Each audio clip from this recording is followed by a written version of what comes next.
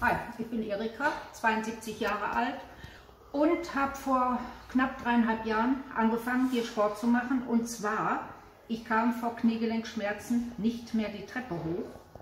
Ich musste was tun und in der Zeit habe ich so enorm meine Oberschenkel stabilisiert.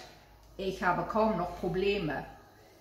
Der Arzt hat, der Kardiologe hat zu mir gesagt, ich brauche nicht wiederkommen, weil meine Werte so super sind. Ich bin sowas von fit und wenn ich mal keine Lust habe, dann denke ich immer, tut doch gut, reiß dich zusammen und geh hin. Ich kann es nur empfehlen.